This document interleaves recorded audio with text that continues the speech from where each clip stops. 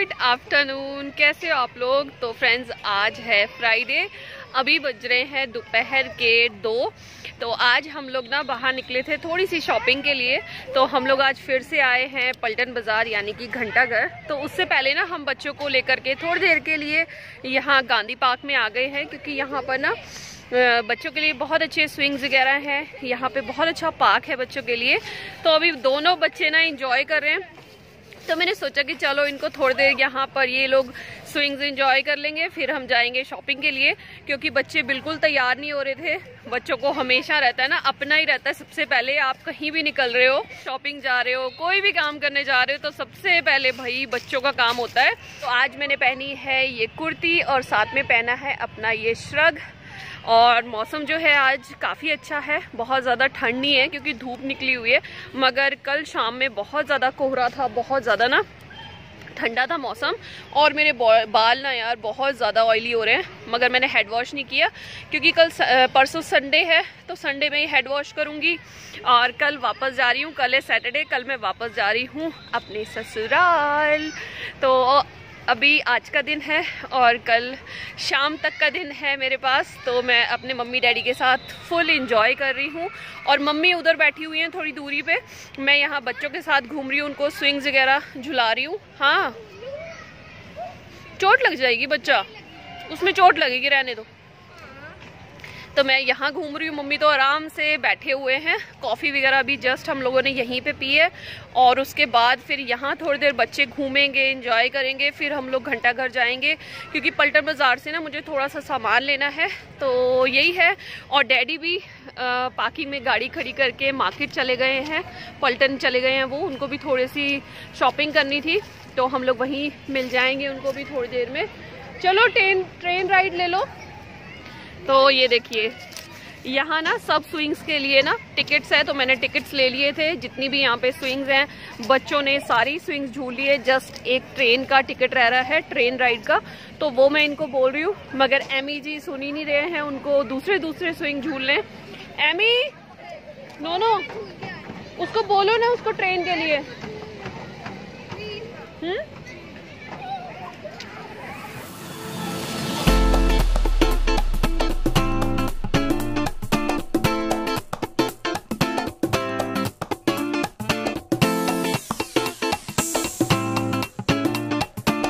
Guys अभी बज चुके हैं शाम के साढ़े चार और हम लोग शॉपिंग करके वापस आ चुके हैं और यहाँ हम लोग पी रहे हैं गर्मा गर्म चाय। तो जहाँ पर हमने का पाक की है, यहीं पर है एक शॉप जो कि है चाय सुट्टाबाद तो जितने लोग भी देहरादून से होंगे, उन्होंने यहाँ की चाय ज़रूर पी होगी। यहाँ पर बहुत डिफरेंट फ्लेवर्स की चाय आइस टी और कॉफ़ी मिलती है। तो हम लोग थोड़ी देर यहाँ बैठेंगे, चाय की चुस्कियाँ लेंगे और फिर उसके बाद हम लोग निकलेंगे घर के लिए। और यहाँ जो चाय मिलती है ना, वो कुल्लड़ में मिलती है और बहुत टेस्टी लगती है।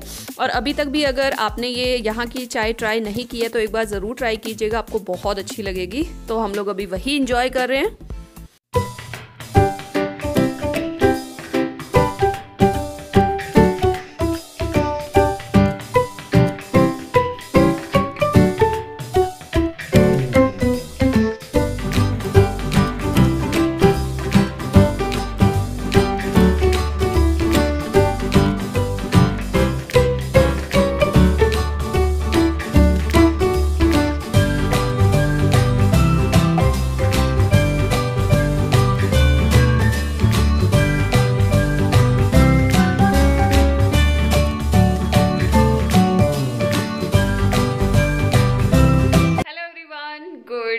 आफ्टरनून कैसे हो आप लोग? तो फ्रेंड्स आज है संडे और अभी बज रहे हैं दोपहर के ढाई और जस्ट मैं अभी अभी स्टार्ट कर रही हूँ इस वाले ब्लॉग को। और ये ब्लॉग मैंने स्टार्ट किया था फ्राइडे में, जब हम लोग गए थे देहरादून। तो थोड़ा बहुत वहाँ पर मैंने शूट किया और फिर उसके बाद हम लोग जब घर वापस आए इवनिंग में तो उस दिन शाम हो गई थी, हमको वापस आते आते थोड़ी बहुत हम लोगों ने शॉपिंग की पल्टन बाज़ार, बच्चों ने गांधी पार्क में थोड़ा सा इंजॉय किया।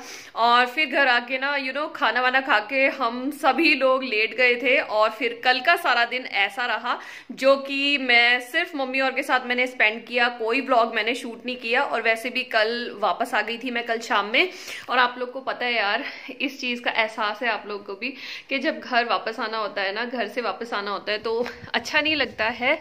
और मम्मी भी थोड़ी सी सैड सैड सी हो रही थी तो मन नहीं कर रहा था कि मैं कैमरा उठा के व्लॉगिंग करूँ, बात करूँ। ऐसा लग रहा था कि यार आज आज का दिन है सिर्फ़ तो मैंने कल का पूरा दिन मम्मी और के साथ स्पेंड किया। व्लॉग बिल्कुल शूट नहीं किया तो मैंने सोचा कि चलो मैं उस वाले व्लॉग को आज कंटिन्यू करती हूँ। तो आज मॉर्निंग से ही मैंने लगाई थी मशीन और वहाँ से आने के बाद इतने सारे कपड़े हो गए थे गर्म। क्योंकि बीच में थोड़ा बहुत एक दो बार तो मैंने वहाँ कपड़े धोए, मगर फिर थोड़ा घूमने में हम लोग रह गए तो इसलिए मैंने कपड़े वॉश नहीं कर पाया था। तो बहुत सारे कपड़े धुलने के लिए हो गए थे, जो कि मैंने आज मॉर्निंग से मशीन लगाई हुई है। मैं आपको दिखा के लाती हूँ कितने सारे कपड़े आज मैंने वॉश किए हैं। सो फाइनली फाइनली एक लॉट मेरा रह गया है। वो धुलने वाला है, बाकी सारे कपड़े धुल चुके हैं और मौसम बहुत अच्छा हो रहा है। ये देखिए। तो ये देखो, चारों तरफ़ कपड़े ही कपड़े हैं। ये देखो, कितने सारे कपड़े। और आज मॉर्निंग में ना, मैंने आशू से ये वाला जो स्टैंड होता है ना, एक मिनट मैं दिखाती हूँ। तो ये वाला जो स्टैंड होता है ना सॉक्स वगैरह के लिए, ये मैंने आज मॉर्निंग में आशू से मंगवाया है। क्योंकि ये छोटे छोटे कपड़े ना यहाँ पे तार पे हैंग नहीं किए जाते क्योंकि यहाँ पे कपड़े सुखाने के लिए ना तार लगी हुई है। इसलिए फिर मैंने ये वाला स्टैंड मंगवा लिया, मैंने कहा फिर छोटे छोटे कपड़े इस पे सूख जाएँगे और इसको आप उठा के कहीं भी रख दो। तो ये बड़ा अच्छा हैंडी रहता है ये वाला स्टैंड तो ये मैंने मंगवाया आज मॉर्निंग में और छोटे छोटे कपड़े इस पे मैंने डाल दिए हैं। और आप लोग के बहुत मेरे पास कमेंट्स आ रहे थे, बहुत आप लोग मुझे कह रहे थे कि दी आप व्लॉग नहीं डाल रहे हो, बहुत लेट हो रहे। तो एक्चुअली क्या है, डोईवाला में ना थोड़ा सा नेट का प्रॉब्लम रहता है, जल्दी से वीडियो अपलोड नहीं होती है। फिर थोड़ा मेरा ऐसा ही है, मम्मी और के घर पे जाके थोड़ा ऐसा ही रहा कि कभी लेट हो गई एडिटिंग में। क्योंकि मम्मी को भी लगता है यार कि सिर्फ़ काम काम नहीं होना चाहिए। उनको भी मैं समय देने के लिए आई हूँ माई के तो उनको ये लगता है, नहीं यार, हमारे साथ भी बैठ जा बात कर ले। तो उसमें भी मैं थोड़ा सा डिले हो गई। मगर फिर भी मैंने कोशिश की रात रात भर मैं बैठी हूँ। आप लोगों के लिए मैंने वीडियोस एडिट की है, उनको अपलोड किया है, मगर कभी कभी थोड़ा बहुत रह जाता है तो उसके लिए वेरी वेरी वेरी सॉरी मगर अब आपको रेगुलर व्लॉग्स मिलेंगे। हाँ यहाँ के नेट का मैं कुछ कह नहीं सकती तो उसमें अपलोडिंग में कई बार थोड़ा सा डिले हो जाता है। और वही वजह है, कई बार मेरे ब्लॉग्स बन जाते हैं एडिट हो जाते हैं, मगर फिर अपलोड होते होते काफ़ी टाइम ले लेते हैं। तो चलिए भी मैं बात नहीं करती, थोड़ा सा आप लोग को व्यू दिखाती हूँ।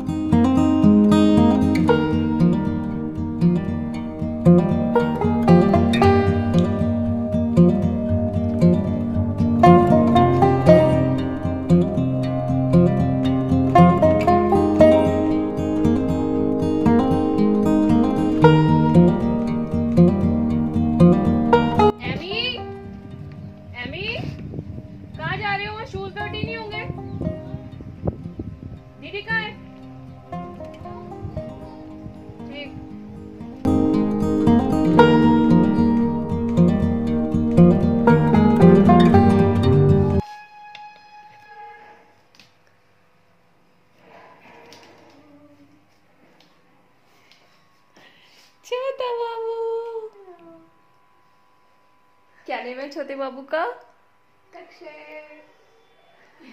सो गाइज़ ये है हमारा छोटा सा मेंबर और मैं भी कपड़ों की तय लगा रही हूँ ना। तो ये मुझे बहुत ध्यान से देख रहा है ना कौन है कौन है कौन है उधर कौन निकला है कौन निकला है सो so गाइज़ ये है तन्नू और मेरे बहुत पुराने ब्लॉग्स में आप लोगों ने देखा होगा तन्नू को। तो तन्नू है मेरे हस्बैंड के जो ताऊजी हैं उनके है ना? सेकंड नंबर के जो भैया हैं उनकी बेटी है। तो हाय बोल दो तन्नू सबको। तो ये है तन्नू का छोटा सा बाबू। हेलो कितने मंथ्स का है तनु ये? सिक्स तो ये सिक्स मंथ्स का है और इतने ध्यान से मुझे देख रहा है ना। सो so गाइज़ अभी टाइम हो चुका है चार बजे का और कपड़े अभी मोस्टली मेरे सूख चुके हैं, थोड़े से कपड़े भी सूखने को रह रहे हैं। तो मैं लगा रही हूँ कपड़ों की तय और अभी इस वाले बक्से के ऊपर आप देख सकते हो। बहुत सारा सामान जो है वो थोड़ा सा फैला हुआ है। क्योंकि कल कल हम लोग शाम में वापस आए थे तो बहुत सारा सामान तो मैंने अनपैक कर दिया है तो ये खाली बैग्स रखे हुए हैं यहाँ पर, आप देख सकते हो। तो ये वाले बैग में बहुत कम कपड़े हैं, और ऐसे कपड़े हैं जो हमारे डेली यूज़ के नहीं है तो मैं वो मैंने बैग में ही रहने दिए, और बाकी सारे कपड़े मैंने अनपैक कर दिए। थोड़ी सी बक्सा जो है ना, ये बक्सा है तो उसके ऊपर मैं कपड़े तय लगा रही हूँ, इनको भी यहीं रखूँगी, और फिर थोड़ा सा जब फ्री हो जाऊँगी तो इनको फिर मैं अलमारी में सेट कर दूँगी।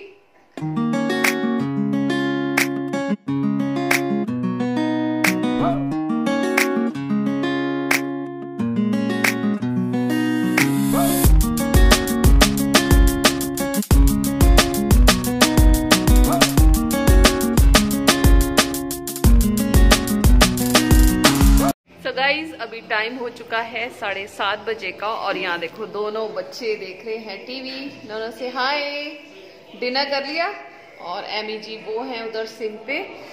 तो अभी हम लोगों ने डिनर कर लिया है। हम लोगों ने नहीं मतलब मैंने नहीं अभी किया है। मम्मी ने, आशू ने, बच्चों ने सबने डिनर कर लिया है।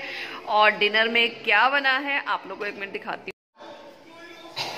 तो डिनर में आज बनी है आलू, गाजर, गोभी, मटर की सब्ज़ी, जो कि मुझे बहुत पसंद है और साथ में मैंने बनाई है मक्की की और आटे की मिक्स करके रोटी।